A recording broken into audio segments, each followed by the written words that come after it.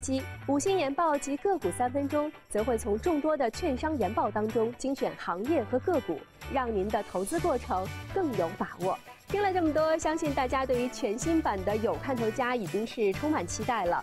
有关这些新功能的具体介绍，我们也会在接下来的节目当中一一带给大家。我们下期节目再见。上海燃气提醒您，请安全使用燃气。使用燃气时，请一定要保持室内外排气通风。超龄燃气器具请及时更换，请使用安全型燃气器具。请经常检查燃气管道及设施。发现隐患，请及时拨打上海燃气热线九六二七七七。安全使用燃气，营造美好生活。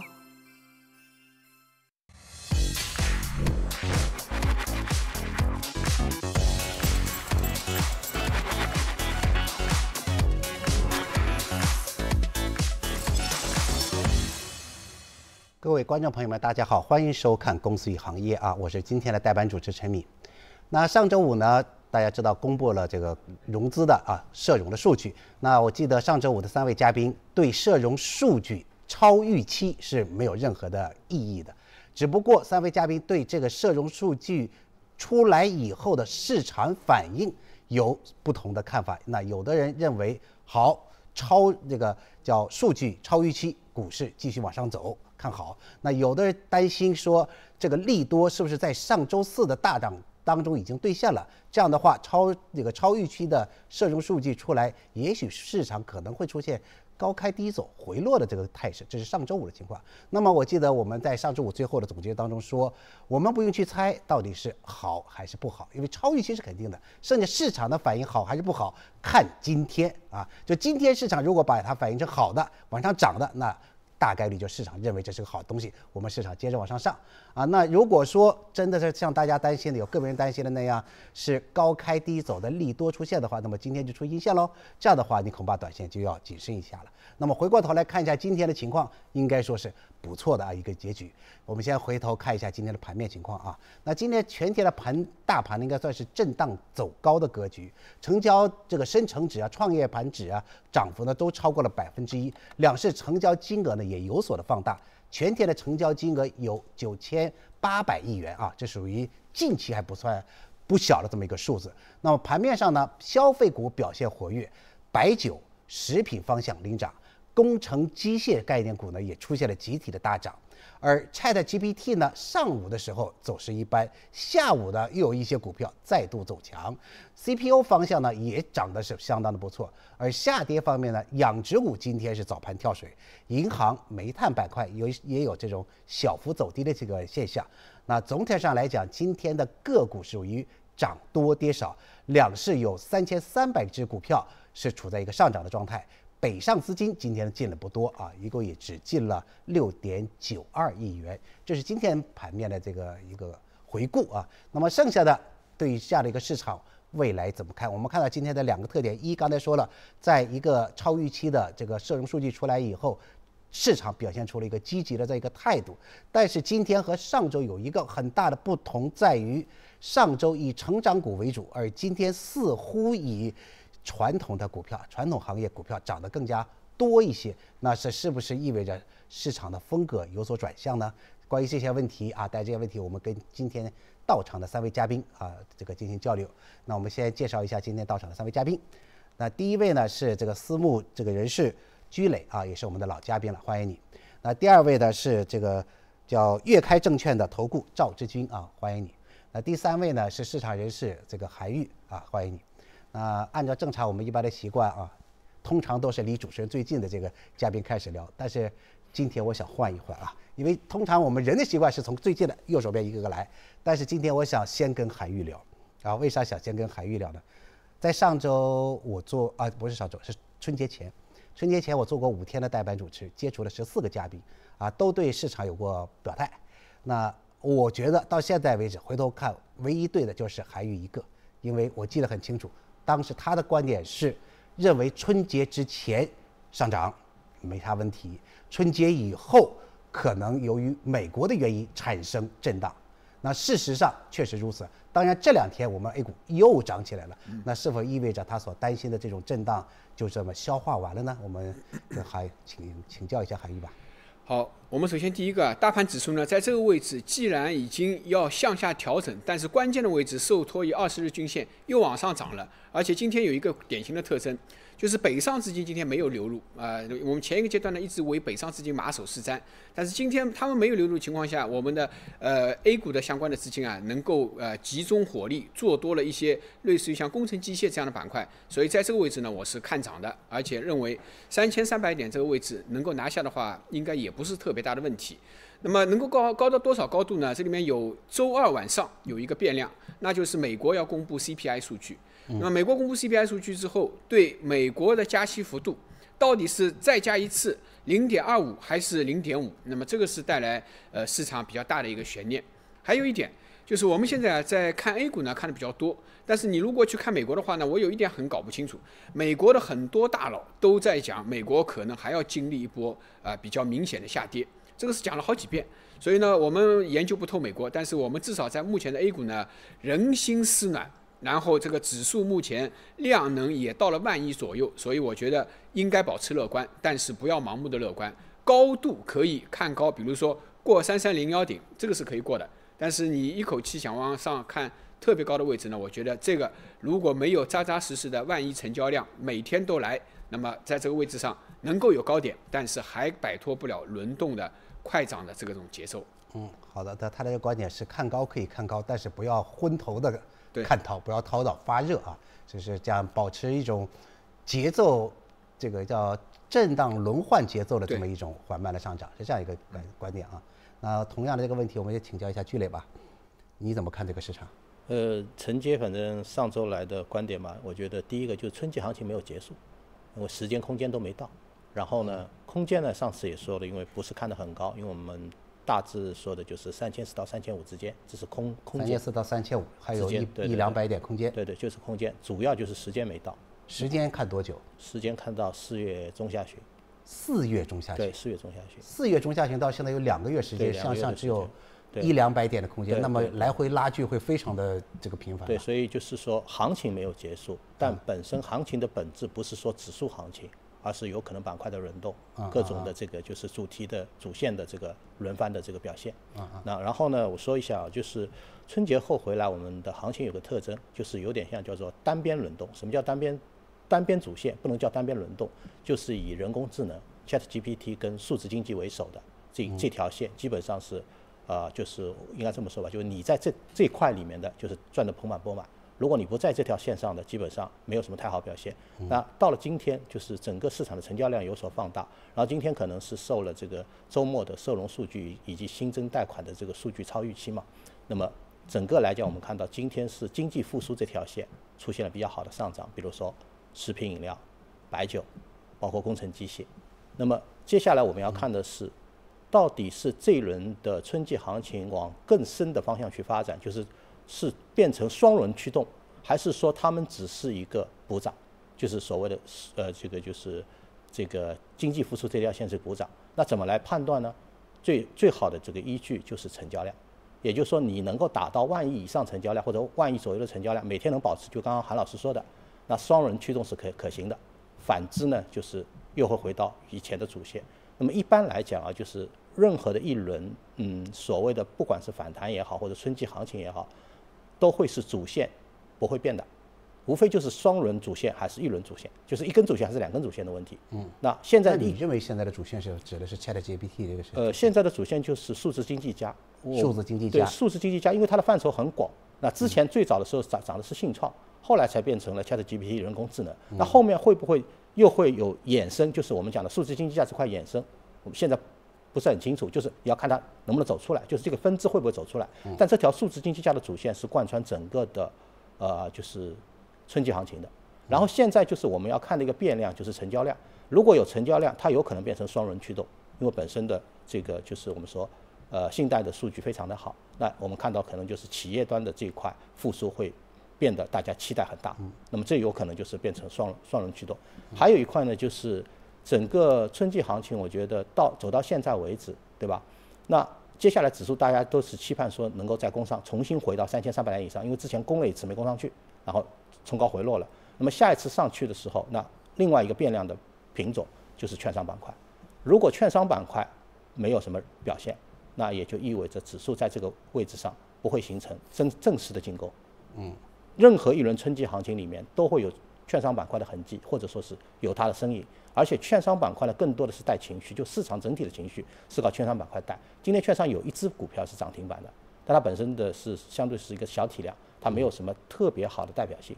那后面就是我们要看攻三千三百点要动券商，如果券商动了，那我觉得这个至少是良性的。攻三千三必须动券商，因为其他的攻不行。银行保险我觉得不是这个变量，因为银行保险是在春节前的变量，而不是春节后的变量。啊。你说到春节前呢，我在想啊，我就突然在想，春节之前的主线是消费，春节以后的主线是数字经济，应该是数字经济加高，OK 都没有问题。周五的时候有一个嘉宾在讲，也也在谈主线，那么他是认为两条主线并存，就是说消费和数字经济是相当于并存的两条主线，双轨。那么你刚才表达的意思是说，成交量这个需要万亿。过万亿才有可能双轨，对对对，不过万亿的话，只能跑数字经济这一条主线，这是你的观点，只能是一个一个主线，只能是一个，走不了两个，对对对，这个情况。对，那再问一个问题，今天是啊，我们看到今天传统经济的股票走得好一点，对吧？刚才你说了，对。那么短期是否有可能这个两条主线稍微修整，就是换一换，或者说热点上是有？不太会换，我觉得有可能轮动。就所所谓的轮动，比如今天涨得最好就板块啊，板块指数里面涨得最好的应该是工程机械。那我觉得工程机械至少是有空间的，这个毫无疑问了。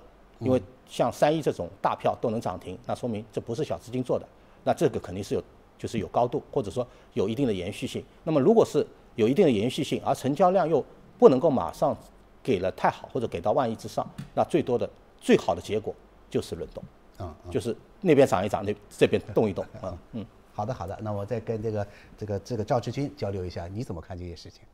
呃，其实就整个来看的话，市场趋势一直以来是并没有破坏的，我相信这一点大家都能看得到。首先有一点，大家看一看啊，刚才大家都提到一点，就是什么？春节前的行情和春节后的行情，其实它有两个不一样的地方，就是消费股其实在春节之前是引领指数往上涨，但是春节之后，大盘那个最高点相对而言就是他们。造成的，然后一路回调，但是到两个礼拜左右的时间，现在消费又开始回来了，说明什么？在数字经济或者说在 t r a d 加人工智能这个板块连续大涨之后，短期他们有很大的获利盘在哪里了？如果说没有后续力量的跟进的话，那么他们应该说短期会进入一个休整的状态。但是消费股经过充分调整之后，已经开始再次起来了，而且可以这么说，中国有句古话：“一年之计在于春。”现在春节刚刚过了两个礼拜，应该是整个行情远远并没有结束。同时，大家应该也看得到，我们的数据方面开始放水了，M2 的增长速度达到了十二以上。可以这么说，在这种大放水的情况之下，对于我们整个市场而言，也是一个钱。相对比较多的一个状态，所以说对指数而言，不差钱的状态之下，还能够继续往上涨。至于说到底是传统板块涨得凶，还是说人工智能、数字加涨得好，我相信只要在乎你一点，就什么，你的目标在哪里？大家要注意一点，不能捡了鸡嘛丢了西瓜，对吧？这个也想要，那个也想要。你觉得这两个方面，你觉得站在你的角度来讲，你认为这两个哪个更吸引你？呃，如果说从我的角度话，我认为传统板块可能更好。毕竟从过去几年的行情来看，咱们以上证五零或者说沪深三零零指数为例的话，整体跌幅最大的应该说就是他们。如果说真的开始反弹起来的话，而且近一段时间大家也看得到，本轮反弹基本上就是靠他们顶起来的。所以说，真正新进场的资金应该说还是在传统板块为主。啊啊。那么还有个问题，我想问你啊，因为我听说你技术分析不错的啊，这个你刚才说了资金充裕的情况之下，所以你是对未来的看好，对吧？但是我注意到一个现象，从去年十一月份行情启动到今天，已经有三个月了，对吧？这个成交量好像一直属于放的不算太大呀。刚才我们还在说万亿不万亿，其实万亿不万亿，在去年不是什么特别大的这么一个数字。我们今天才九千八，到现在为止行情涨了这么多，为万亿而头痛了。那这是不是说这个资金没有那么多进市场？换句话讲，你怎么去看待这个成交量好像一直放的不是很大的这个这个问题？我不知道这个这个，如果导播有可能的话，帮我们调一下这个指数，看看给给给观众朋友一个直观上的这个量能上的一个感觉。那你怎么看待这个成交量的问题呢？嗯，其实就这个目前的成交量来看的话，也许啊，跟历史上面峰值来看的话，量能很低，只能保持在一万亿附近。我说的不是峰值，就是说你看这个上涨这一段和去年下跌那一段，只比较跌和涨这两段，通常涨的时候是明显一个放量你才涨得动嘛。但是你会看到跌涨了这三个月和前面跌的三个月没有明显的放量，甚至感觉好像比前三个月还小一点儿。你怎么看这这样的话，行情还能支持大家这种这个这个还能持续很久的这这个观点吗？呃，用这么一句话来形容一下吧，就是说，目前的行情阶段还处在一个信心逐渐恢复的过程。因为大家可以看看，春节之前其实量能保持的还是非常完美的。嗯，原因很简单，大消费对吧？银行、保险、券商等等，包括白酒，他们都有不错的表现。所以说，当大票动出来的时候，量能其实是放的非常好。但是年后大票开始调整了，所以大家可以看到吧，小盘股你虽然表现的很活跃，但是它需要的资金量却相对不是太多，所以整个量能反而出现一定的萎缩。那么据说这个量放不出来，其实很简单，因为到目前为止，我们认为真正推动这波行情上涨的，可能还是属于以北上资金为首的那一部分外资，因为很简单，这在一个多月的时间流了将近这么一千多个亿，比起我们爱股很多投资者还在那里抛股票而言的话，人家买入的决心应该说是非常明显的一个状态。所以说，在这个状态之下，爱股市场绝大部分投资者应该说他们的信心还没有恢复。为什么没有恢复？因为跟我们的指数所处的位置有一定的关系。我们可以看到，在过去两年到三年左右的时间，其实市场运行的一个区间是很明显的，基本上就是三千四上方到三千七百点逐渐进行一个震荡。但是现在从去年跌破三千四之后，我们可能一直在下方进行一个整理。这说明什么？大部分还是套牢在上方。所以说，在散户资金或者说场外资金信心还没有完全恢复的情况之下，大家可以想，这个量能能放得出来吧？其实那那量能放不出来，跟你刚才得到的这个是，这个叫什么？资金不差钱，资金很充裕，和这个市场就坚决看好，这是不是有一点矛盾？啊我不知道你，的我请教一下这个居磊吧，你技术也是很强的，我知道，我们老嘉宾也知道，你怎么看待这个问题呢？就是实实际上成交量是分两端看啊，因为节前呢，可能呃国内市场有一个特点，因为你临近春节的，往往都是大家就是休息为为主了，所以那个时候北向发动了一轮行情，基本上是逼空，然后呃成交量一直是很低的。然后现在回到节后呢，我觉得这个成交量刚刚好，或者说就是刚刚开始有点苗头，但是它因为没有指数没有加速嘛，或者说整个市场也没有处在一个很兴奋的角度，更多的其实在春节后的第一周是题材炒作，而并不是。就是我们传统意义上讲的，就是等于说指数跟这个大的板块共振，所以它不存在说一定要放很大的量就能上攻，所以市场赚钱效应是不错的。然后呢，维持在这个量也行。那么就是刚刚就是我说的，就接下来如果要双轮驱动，你你的量能要稍微放大一点，放大一点。还有呢，就是说刚刚我们不是在讨论到底是银行保险好还是券商好嘛？实际上是这样的，如果说指数啊，呃，本轮春季行情只能看到三千四到三千五之间。那就不能够动银行保险。如果你动银行保险、动地产，第一个要放量，第二个指数就不是三千五的事情了，对吧？所以这个其实就是节前的银行保险走得很好，对，特别是香港对对对，非常好。是是是是，港港股那边带嘛，对吧？所以呢，到现在为止，就是如果真的还要动银行保险、地产的话，那我说第一个量就不是现在这个量了，第二个指数也不是现在这个指数了。所以其实上，我觉得现在由这个量慢慢慢慢放呢，我觉得还是可以的。最关键的，其实我倒不是特别在乎说一定要放多大成交量，关键是你每天要给大家看到的就是叫做赚钱这个就是整个赚钱的效应好不好，也就是我们经常会看的一个叫平均股价指数，另外一个叫做情绪指标。所以这两个其实才是我们两个指标现在怎么样？我觉得都挺好，都挺好，都挺好。所以这才是实际上大家要去关注的那个重点，而并不是完全的成交量。这这是有道理的啊。这个成交量只是一部分，它只是代表市场的一部分。对对对。成交量没有那么大呢，代表着最大盘的那票那些东西呢很难大的涨，这是毫无疑问。所以刚才剧烈谈的是两个月只开一两百点空间，对，也没有量嘛的。如果量很大的话，两个月不可能只看一两百点空间，是不是？啊，这些个问题我先过去啊。那么今天呢有一个板块走的是非常好的，因为说。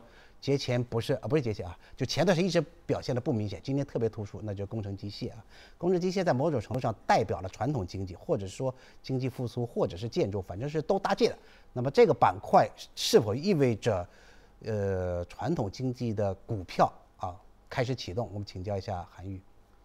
首先一个，我们讲啊，这批股票在动有一个大的前提，它是因为跌的时间足够的长，而且跌的幅度足够的深。那么从时间长的角度呢，大家可以看一下，要看它的一个月线级别。说它的幅度的话呢，这一波像中呃工工程基建当中，三一啊、徐工啊、柳工啊之类的，可能都跌掉了百分之七十以以后，那么才迎来了今天的这个上涨。所以从这个角度上来说呢，的确它承载了很大的众望所归。那这个时候众望所归里面啊，也隐含了对成交量的一个解释。因为前一波上涨的话呢，其实市场里面大概至少有。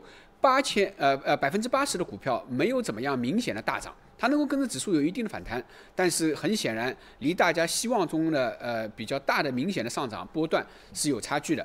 像工程机械就是这样，它一直在底部的这个徘徊，所以呢这个是讲了一点什么呢？就是因为大量的股票它目前如果不是在风口，那可能就得不到资金的关注；如果不是类似于像北上资金集中主打的像银行，那么在节前。如果你把节前的银行跟白酒去掉的话，其他的大盘股其实没涨多少。所以从这角度上来说呢，成交量为什么放不出来？因为交投不活跃，交投不活跃，因为有大量的股票还在底部。那么讲到工程基建呢，为什么我们比较看好？因为今年有一件事情是特别确定的，那就是我们的呃 GDP 增速一定是非常的亮眼。这个既有之前。整个一个基数低，又有现在我们对这个呃大呃呃努力的干干活，能够快速的呃抢时间，这个存在的一个呃饱满的激情，所以从这角度上来呢说，工程机械为代表的，那它是就是复工复产的一个最明确的例证。所以从这个板块角度的话呢，我觉得震荡攀升可以看蛮大的一个波段。那么由这个板块而推而广之的话呢，你你去看房地产板块没有涨，但是今天家居用品这些小的已经率先表表表现起来了。这个的话呢，就是呃有大量的它是呃也不是说想象，反正房地产一动，下游有好多的枝枝节节的分支行业，在这个地方也容易获得这个资金的埋伏，那么也容易进入到一个补涨的阶段。所以今天领涨的呃几个方向，除了房地产的边缘，然后工程机械以外，包括消费、乳乳制品啊、消费的食品等等，他们的上涨某种层面也是跟复苏相关。那个复苏就是我们讲的三驾马车当中，就是消费呃能够有一个比较好的一个盼头。所以我们这三驾马车，出口也好，出口是前一段时间叫做呃大家都到海外去抢订单。那么现在是呃过了年，然后呢也到了两月份、三月份，就是要布局重要的呃经济工作。那么也到了他们这些工程机械上涨，然后呢又到了吃的消费可以上涨。所以今年应该来说呢，行情比去年好做。但是呢，轮动就是因为钱不够，然后呢这个呃现在总体来说出击的方向也比较多。所以除了主线之外，其他的我应该是觉得是多线的轮动，还不是简单的一两根线。就多线的轮动。你指的是除了消费和数字经济以外，就其他的线也会动？哎，其他的线也会动，但是这个线呢，就是像单向排排队一样，因为这个里面线实在是太多了，包括甚至券商也是属于多线当中的一根线。嗯嗯，好的，这是韩愈的观点啊。那应该来讲的话，一方面是春天啊，每年的春天呢都是开工的。啊，建筑开工的时期，特别是春节以后，正月十五过了，那各个的工地都开慢慢的起来，所以工程机械起来也很正常，对吧？刚才还有也谈到了，这个产业链里面除了工程机械，还有别的呢，类似于像建材也算里面，对吧？这个房地房地产产业链里，除了房地产以外，还有房地产后周期的，类似于像家装啊、家居啊，都在里边，所以这属于这个经济复苏这条产业链上的。那当然，韩宇也谈到了这个。消费啊，消费也可能也有，也是有不错的表现机会。说到消费呢，我单独拎一个板块今天聊，因为很多人有，我知道，就是白酒，啊酒或者特别是白酒啊，因为今天白酒走的也是不错的。前一段时间白酒是回调的比较厉害，今天涨得不错。那么白酒是不是还值得这个再进入，或者值得长期持有？那个聚磊，白酒其实我不是太看好，我觉得对我觉得持续性存疑。那为什么？就是一第一个，我觉得白酒到这个位置上，大部分白酒的估值都相对合理，或者说略偏高。所以呢，那再加上这个，就整体来讲，我觉得从嗯整个经济复苏的方向来讲呢，其实其他的更值得期待。我说一个，就是正好是跟朋友聊天的事，而且等于说有点像我一手的调研。昨天正好跟一个酒店的老总吃饭，然后呢，我就是在上海，我知道的情况就是三月份上海整个酒店的，就是订单基本上很饱满，就是什么呢？就会务，啊会务这一块。那么从会务这块呢，它肯定会拉动消费嘛，就是住宿，然后旅游，然后还有就是餐饮这些，对吧？但是呢，呃，我也知道，就是基本上像这种会务的话呢，它就很少会有一些，就是，呃，就是怎么说，就是它不会有大张旗鼓的去大家像平时宾客请客就是喝酒之类的，基本上都是只有饮料没有酒，就是这种就是纯商务的开会，就很少有这种酒，对吧这是？现在新的一种风气。对对对对对，就是那我觉得那就是从这个角度上来讲呢，我如果让我选食品饮料跟白酒的话，我更于更愿意向食品饮料这边去靠。啊啊所以这可能这就是我个人的观点啊，嗯。啊，这是他观点。那那个赵志军，你觉得呢？其实我倒认为啊，白酒板块可能更值得大家去关注一下。你看好？对，啊啊，呃，首先我们可以看看，今天有个消息，就是茅台的大股东在隔了多年之后再一次增持了茅台。大家可以想想，作为一个市场上市值最大的公司，大股东这个时候进行一个增持，应该说是给了市场足够大的一个信心。所以说，在这个消息消息的带动之下，整个板块今天有所动作。另外还有一点，刚才其实我们都提到一点，就什么？白酒它也属于消费之一，对吧？大家可以想一想，经济的三驾马车，投资、出口、消费，现在国家重点支持的就是以消费为主的这一个大范畴，食品整体涨幅都是在整个行情当中，应该说远远的跑赢了我们的上证指数。刚才聚磊没有说不看好消费，他只是说不看好白酒。对刚才他谈到了的选白酒，他认为还不如选食品饮料，对吧？也是属于消费，就是说，这个因为但是他对白酒他是谨慎的观点。我是想问你，你对白酒，你刚才说你对白酒看好吗？看好。这个这个理由跟就是不同意聚磊这个观点，你有什么驳斥他的地方？嗯，首先有一点大家要知道啊，在目前整个各大板块、大权重板块，比如说刚才提到的银行、券商、保险，其实他们最近一段时间整体的表现并不是太优异，甚至在最近一段时间有所下跌。但是我们要知道一点，茅台为首的这批白酒股票，他们的市值可以说在目前大消费板块当中是处在领先的一个状态。如果说整个蓝筹股板块想要有动作的话，那必须要有一个核心板块涨出来。我们可以看得到，白酒在最近一段时间虽然说有调整，但是板块当中依然有一部分个股在逐渐的创新高。这说明什么？虽然有调整，但是依然有资金在里面不断的进行一个动作。所以在这个状态之下，白酒板块其实如果说想要发动行情的话，大盘想要往上涨的话，还必须要白酒来带动。嗯，好的啊，这是从盘面的角度来讲，是感觉到白酒是作为消费这个大板块当中的领军的一个板块，所以这个这个消费板块要想起来的话，恐怕还要靠这个领头羊，它的人气带动作用会比较强。因为这个赵志军是从二级市场的这个角度去分析的。当然，两个嘉宾呢各有各的看法，不太一样，因为很能够联系起来了。你可以看到，居磊前面谈到他看好的数字经济，他两条主线里，数字经济认为要比传统的要更加强一点，这是他的观点。那他自然相对来讲，白酒就看的没有那么好。而赵志军前面表达了他看好的是传统经济，对吧？所以他对白酒相对来讲看看得更好一点。嘉宾只是谈他个人的观点给大家参考，是吧？给大家参考。那具体呢，还是要您自己去抉择，只是一个意见而已，不代表是什么。好的，请大家不要走开，广告以后我们继续。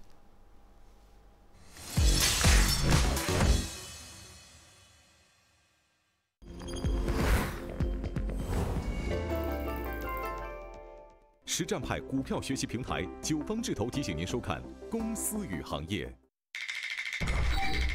掐指一算，今日要淘一海阔业，今日一开盘，莫要动啊！你入山不深，还是要靠学习的精神。听我的！九方智投实战派股票学习平台。你可以一天花几个小时的时间刷短视频，也可以花大量时间盯盘，了解资讯。但我希望你可以抽出十五分钟的时间来学习一些真正实用的投资技巧。寻找一套属于自己的投资方法，这套七天掘金新龙头，每天只需要十五分钟，可能让你不靠消息，不凭运气，而是通过理性的分析，不断取得进步。不管有没有时间，我都希望你能扫描屏幕上方的二维码，来一起学习这个七天掘金新龙头。只要十五分钟，他会带你学习股票投资的涨跌规律和十三种投资技巧，还有专业的导师实时互动答疑，也许可以让你少走弯路。不再盲目的追涨杀跌，记住啊，学什么都不如学方法，赶快扫描屏幕上方二维码，一起来学习吧。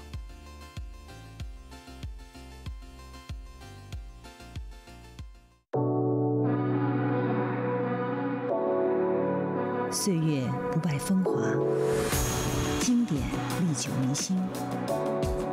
老凤祥，跨越三个世纪的经典。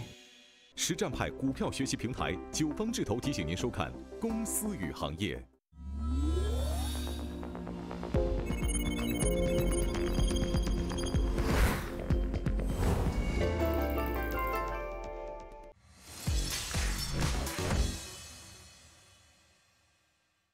好，欢迎回来啊！那么下边我们先看一则信息：数字乡村呢是乡村振兴的战略方向，也是建设数字中国的重要内容。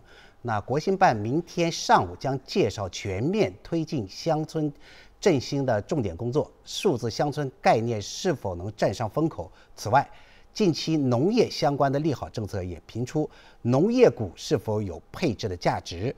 那农业股当中有关的数字乡村的一些这个相关的个股，是否从中长期的角度啊，中长期来讲是否有一个长期投资的？一个价值或者是投资的方向，这是很多人恐怕是关心的，也是我们下面要交流的重点。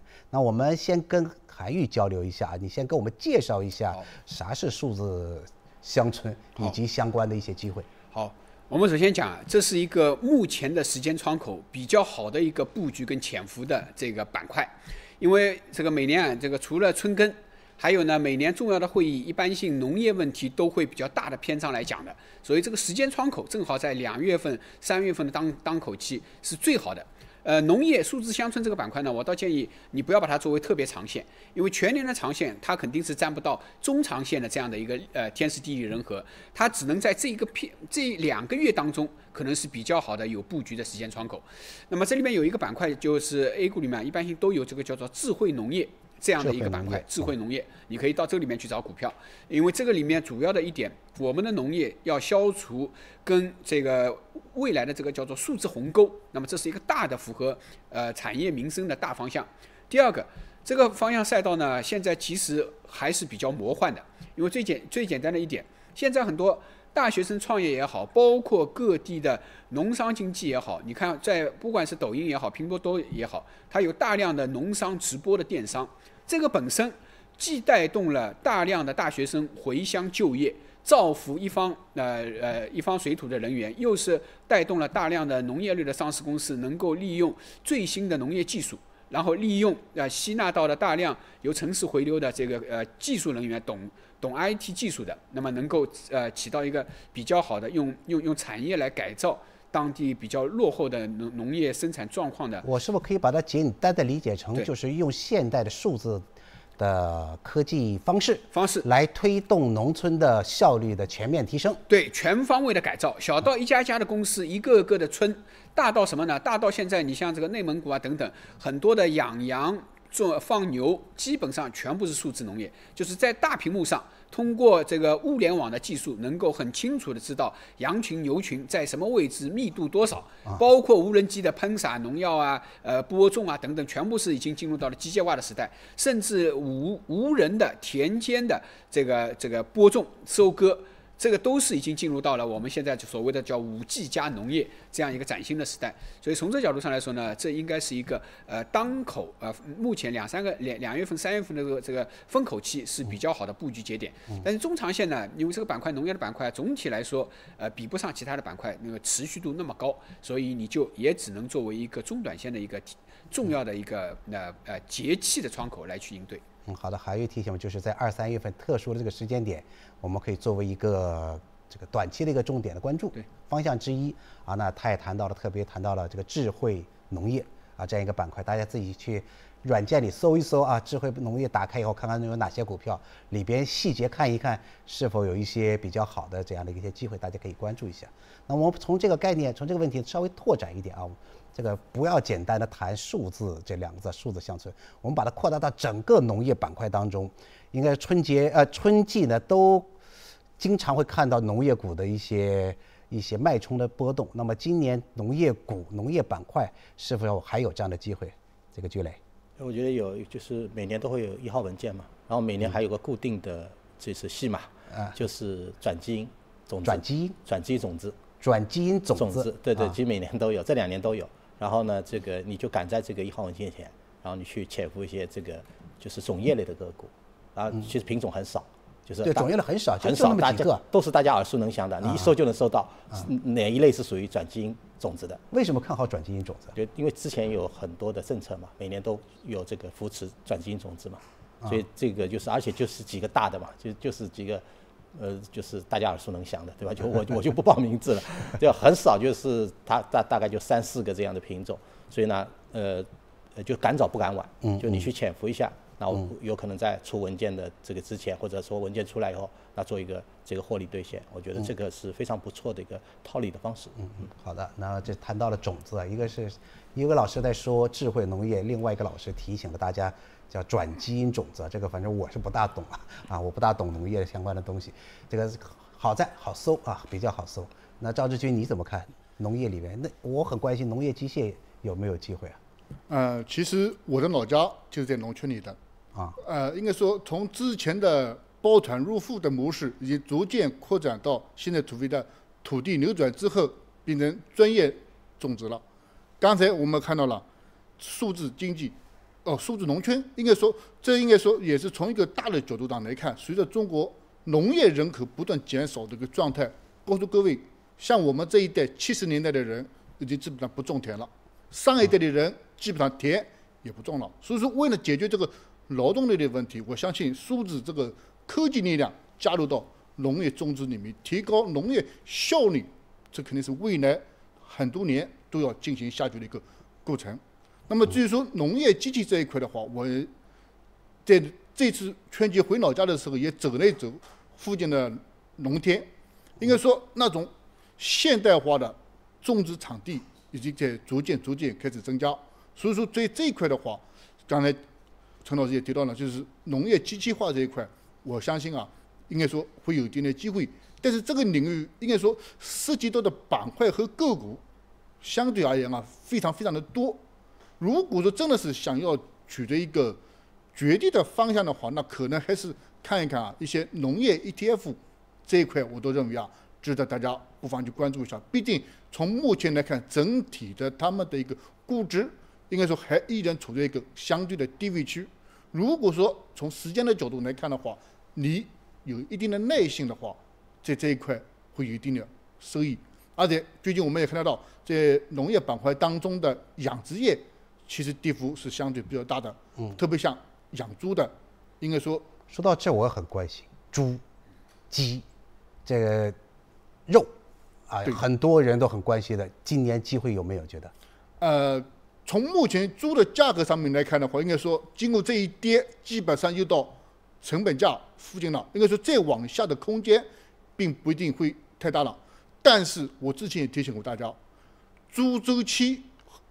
今年至明年至这里会起来，但是养猪的公司再有如此历史上那一轮非常大的涨势的行情，应该说不会再出现了。因为很简单，那个时候是黑马的角色往上涨，现在是千万人往里去冲。大家可以想一想，散户都进去了，怎么会拿得起来？所以说猪周期即使来了，养猪的板块的行情也会有限。但是有一个板块，鸡苗的这个养鸡的行业，都建议大家可以适当的关注一下。第一个也是他们的价格出现了一定的上涨，第二个就是国外禽流感对他们的那个养鸡的数量应该说是大大的减少了，应该说未来进口的压力会减少，所以说养鸡的这一块可以适当的关注一下。嗯，就是相对谨慎猪。就乐观一点鸡啊啊一点鸡，当然这个板块啊，应该说，呃，我从历史的感觉上来讲，鸡和猪好像很少同时运作。这两个板块在股市上啊，很少同时涨，要么是涨鸡，要么是涨猪。当然，这个猪肉的价格前几年是回落的。那我也注意到，好像国家要什么收储猪肉，要维持价格啊等等一些的扶持政策。那相关政策信息网上也都有，大家可以去看一看。这个板块呢，我知道很多人在关心。那这个板块有个特点，就是说不论鸡还是猪肉，这个股价往往和它的现货的价格。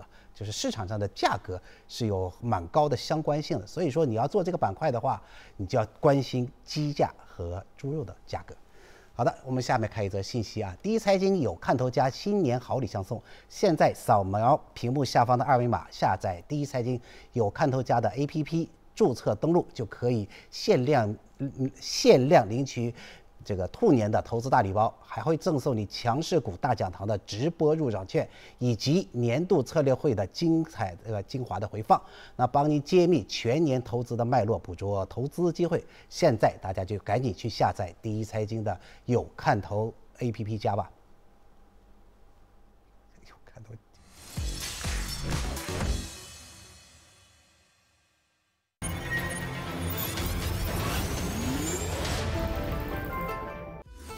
中国工商银行携手故宫博物院，甄选故宫馆藏文物白玉镂雕双兔佩为设计灵感，呈现金玉满堂吉祥套装贵金属新品。双兔迎福挂件，一面是温婉典雅的美玉，流露东方美人的灵动气韵；一面宛如花丝般的璀璨，绽放国潮时尚的非凡魅力。两面佩戴。两种风格，搭配贵气的合金流苏，可作为各式挂件、把玩件。另附事事如意小福筒，以足金雕刻福字，五朵灵芝祥云纹环绕，金玉一相逢，遇见来自故宫的美。产品在工商银行各大网点及手机银行 App 均有销售。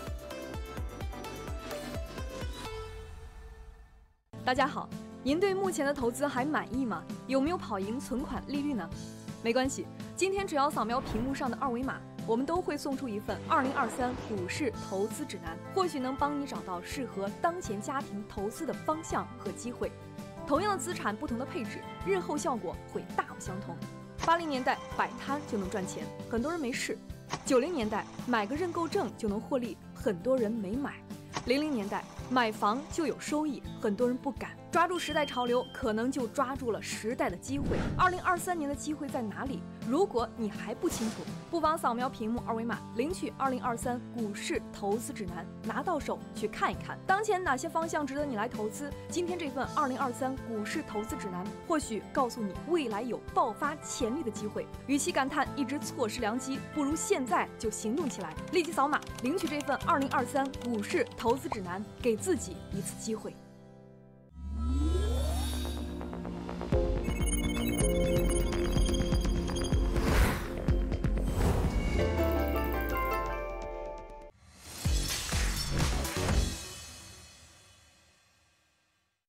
欢迎回来啊！那么下面进入到观众这个答疑的这个阶段。那有投资者问啊，问银行啊，可能这个手里的银行股比较多吧。那么刚才也谈到了金融，但是银行股是否是有比较好的机会？积累的观点前面已经聊过了啊，我们不重复了。那么我们听一下这个韩韩愈的观点，对银行怎么看？银行股呢是在春节前二两千八百八十五点起涨，那么主要涨的就是银行股跟保险股，所以涨到了目前的位置啊，大的银行像什么招商银行啊、宁波银行啊，已经基本上涨到位了。然后再往上的空呃空间呢，不是说没有，但是如果他们再往上的话，那整个一个 A 股的成交量放大，整个一个指数板块，那么应该是更加的热闹。所以我觉得空间不是特别大。但是呢，银行股里面有大量的中小银行还在底部的，那么如果你呃是耐心足够好，适当的做一定潜伏，那这个倒也是问题不大的。毕竟现在两一个板块内两极分化也是比较明显。嗯，好的，这是这个韩愈的观点，也是相对觉得涨幅的空间不是很大。那我补一点呢，前面大家大家都在谈成交量嘛，对吧？成交量这个不到一万亿，目前这点量的水平，你想把银行板块推得很高，真的是不大现实的。银行板块因为盘子大嘛，它如果说要讲涨得比较多的话，一定是配合很大的市场的成交量，这是毫无疑问的事情。所以量不大，银行整个板块。呃，想大涨比较难，但是你要是去投资银行的话，你应该抱着什么观点呢？是抱着把它当储蓄、长期投资的观点。因为银行有一个特别好的地方，就是非常高的分红率，啊，你就把它当储蓄放在那里，每年拿红利，这个收益也是相当的不错。那等到某一天这个市场的成交量很大了，那么整个银行板块就可能会出现非常明显的估值的修复，那个空间就会长得大啊。现在成交量啊，补充说。买银行股票的时候，可以看看港股的银行股的走势怎么样。如果说港股的银行板块涨了，那么 A 股的银行啊也会跟着后面一起动。如果港股不动，那基本上 A 股啊也会是有限的。嗯，你说说到港股呢，其实，在春节之前，港股涨得不错啊，包括特别典型的类似于招商银行，在香港上涨得非常的高，涨幅啊，我只能说涨幅。那么 A 股的相对来讲，招商银行也涨的，那么就涨得不如港股的幅度。来的大，那另外呢，A 股和港股联动的部分，有的带 H 股，有的不带，这个也不大一样。当带 H 股的那部分，H H 的这部分的港银行呢，它往往会有联动的，类似于像工行啊、建行啊、中行啊这些啊，都有联动的。那么有一些银行只有 A 股有，没有港股有，港股没有，特别是这个叫呃地方性银行啊，都是这样的现象，所以。没有港股的那部分地方性银行在 A 股当中表现相对来讲可能更加活跃一点，哎，这是我们看到这个现象。没有港股的拖累，它更加容易在 A 股当中，呃，这个上下的波动啊，更加容易一些。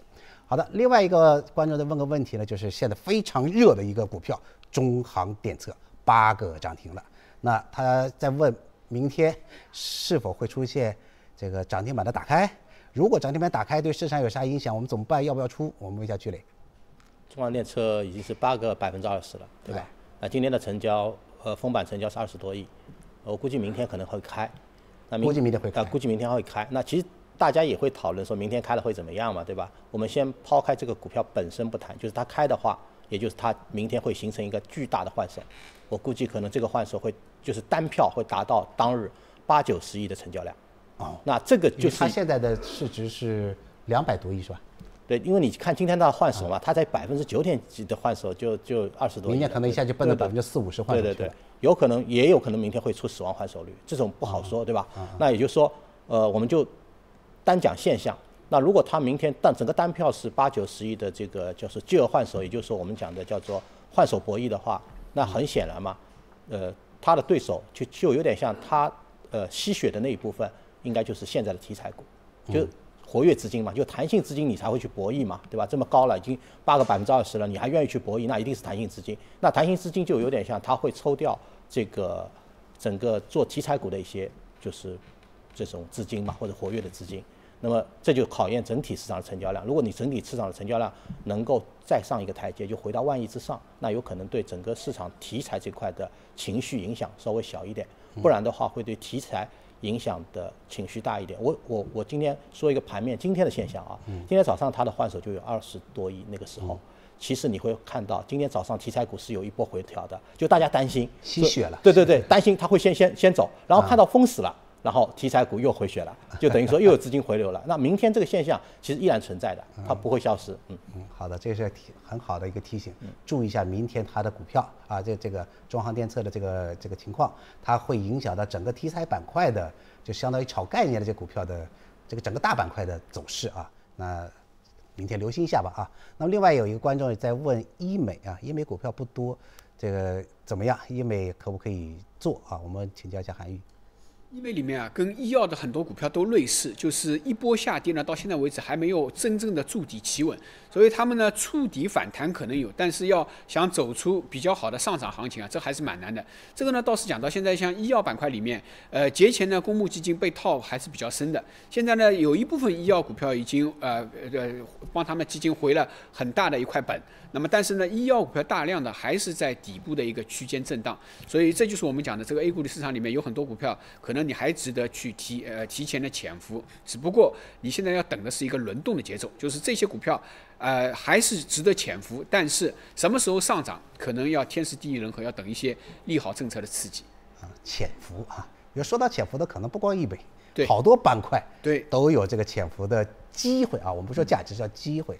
应该说，整个这三个月来有一个特别明显的特点，热点一直在换。从节前啊，到从十十二月、一月和现在，这热点都不一样。但是有一个共同的特点，就是所有的热点都是从很深的坑底下弹起来的。包括今天涨的这个叫这个这个这个工程机械啊，也属于这样的特点，都是跌得很惨，以后突然的填坑的这样的一个动作。所以潜伏啊，大家自己回去好好考虑一下潜伏的这个问题。好的，请不要走开。广告以后我们继续。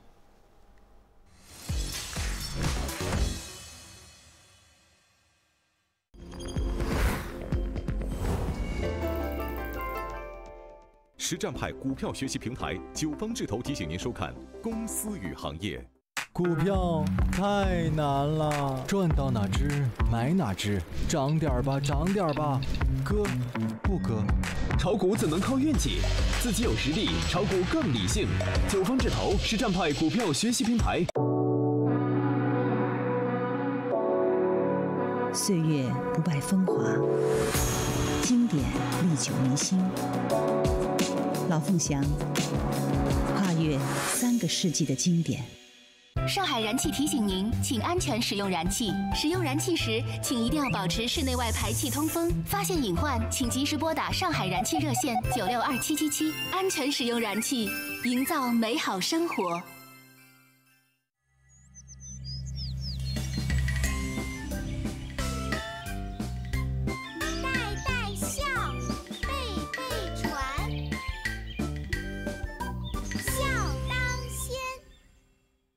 实战派股票学习平台九方智投提醒您收看《公司与行业》。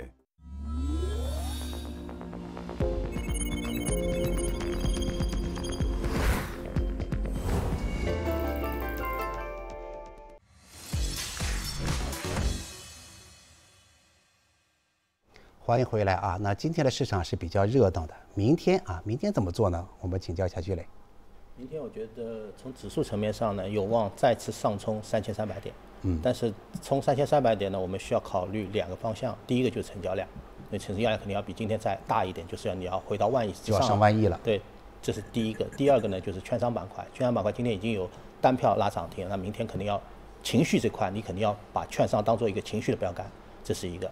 然后呢，我们怎么来判断日内的强跟弱？那日内也有可能它有一个冲高回落的动作，就是刚刚韩老师也说，也可能担心周二美联储的这个议息，对吧？那怎么来判断这个强弱呢？就三千两百九十点是作为明日指数的一个日内强弱点。三千两百九九十点，对。做分界线，多空分界线，分界线，多空分界线。如果能够上啊冲高三千三百点，回落不破这个三千两百九十点，依然算强。那回到三千两百九十点以下。那就算弱，有可能就是在周二的时候还会受外围的影响，或者说它本身由于成交量不够的原因，还会继续再做震荡。那么冲过去、站上去，我们都会啊，大家都会。对对对对对。我想请教的是，如果说万一出现你说的，嗯，冲上去以后回到三二九零以下，是否需要减仓的动作？呃，可以做一些仓位的呃呃，就是减，但是呃整体的大的呃整体大的仓位，我觉得不需要，因为。大的仓位你只需要衡量五周均线，五周均线之上你不需要做刻意的减仓，也就是说五周均线之上不看空，啊，那是长中长线的，就是短期，因为为什么现在五周均线的位置很近？它并不是很遥远。啊，对对对啊，我没注意到五周均线，对对对，现在在什么位置上？不破就没事儿，对对没事，你就就没事，别盲目看空。啊，不要不要盲目看空，做了一个中线的一个风险的风控线啊，也仅供大家参考。好的，接下来我们看一下那个看一下九方智投本周的投资者保护公益小短片。这是金叉看多。这是死叉看空，这是阻力位，要小心了。这是什么玩意儿？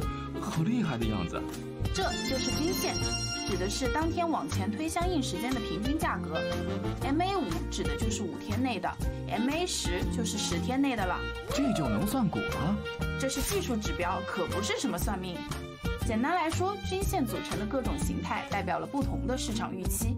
比如这是金叉，就代表了看多；反过来变成死叉，就成了看空。配合 K 线的时候，还能判断它的压力位和阻力位。学会这个，我岂不是无敌了？哎，所有的技术指标都是我们做决策的依据之一。我们还要综合考虑企业的发展潜力、市场情绪等等。家人们要是看懂这个，谁还找我算股啊？九方智投提醒您：掌握交易规则，控制风险，做理性投资人。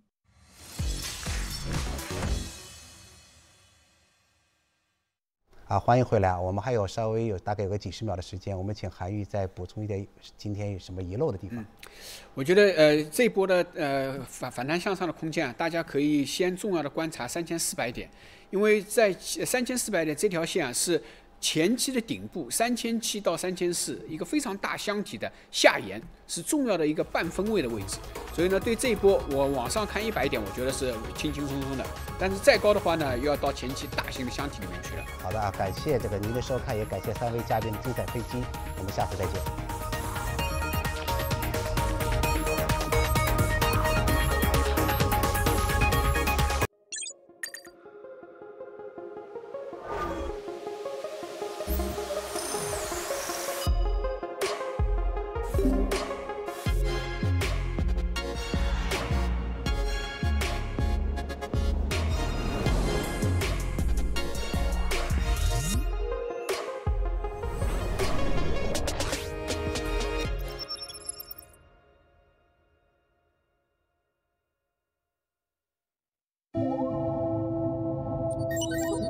这是一个关于他的传奇。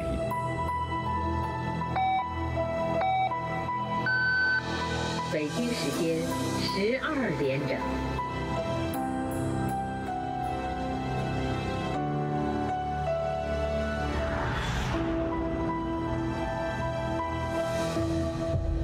我要想做一件事情，我是会奋不顾身。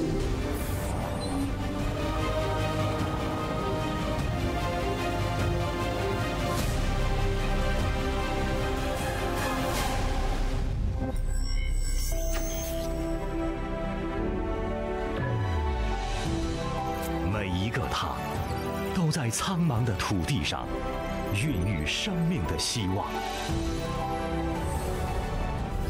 每一个他，都在科学的春天里破土而出，向阳生长。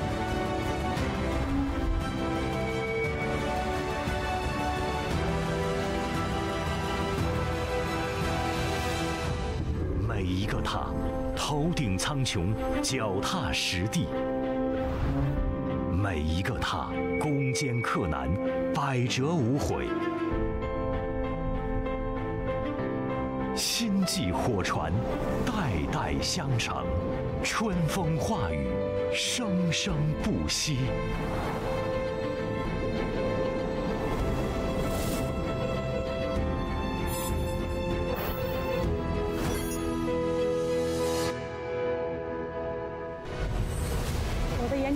是高性能船舶推进技术，我们做了十年的突击救援队，面对的是我们的这个国家重大战略需求。我主要从事的是网络安全的研究，城市轨道交通、地铁设计。每一次卫星发射任务能够圆满完成，这也是我一生最大的荣耀。我经常带着孩子仰望星空的时候，我又会对他说：“天上有十二颗星，是妈妈曾经参与研制的。”探索没有知道的世界，就是科学应该尽的责任。每一个值得尊敬的他，都会长成一棵参天大树，守护人类前行的未来。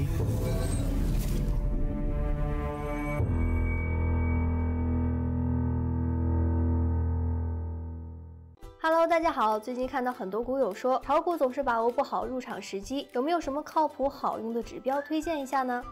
今天分享的烽火战法呢，相信老股民们都很熟悉了。